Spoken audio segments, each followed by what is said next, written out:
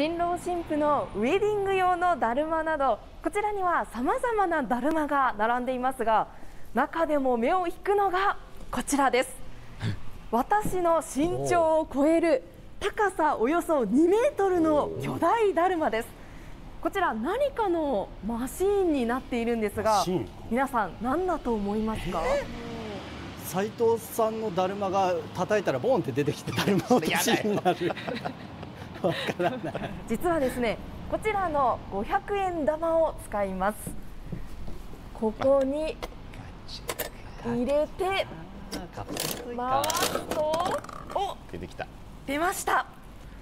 さあ私は一体何が当たるのか。お私は3頭が出ました。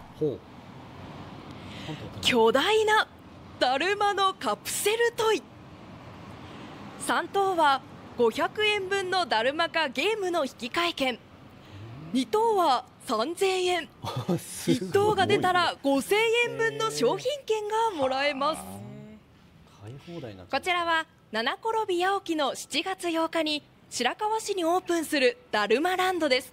だるまに触れる機会であったりご購入される機会があの減ってきているのが現状ですのでだるまに触れる機会を作っていただきだるまが好きだなと思ってもらえる人を増やしていくことを目的にしてます。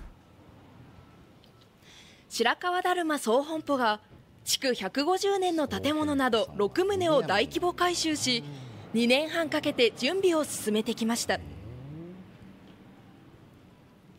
展示コーナーやだるまへの理解を深める学び場。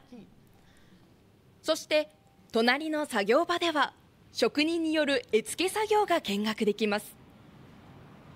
渡辺さん、はい、あちらの蔵は何ですか、はい、こちらの蔵なんですけれども明治12年の、えーと、蔵を改修しましてだるま神社としました。二二礼二拍手一礼そして三に日々努力すると書いてあるんですけれども。やっぱり願いをねあの望むだけではかなわず日々努力することが大切かなと。本願だけではいけないこちらは1回500円でできるだるまさんが転んだゲームです子供が大好きなだるまさんが転んだ。好きなだるまをデザインし描いただるまを動かして遊びます。楽しそう。可愛い。ちょっと口裂けすぎてますよね。4人中最下位ですよ。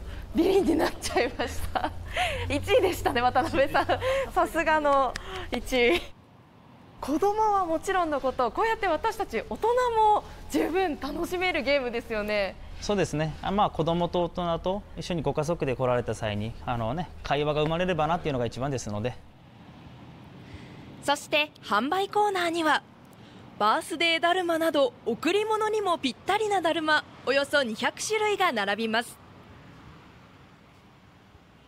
だるまのこんなにデザインがあると思わなかったですここを拠点にして白川のだるまで、ね、にぎわって、はい、いただければいいかなと思います。もう日本中の方々1億2000万人がだるま好きになってもらえればなと思います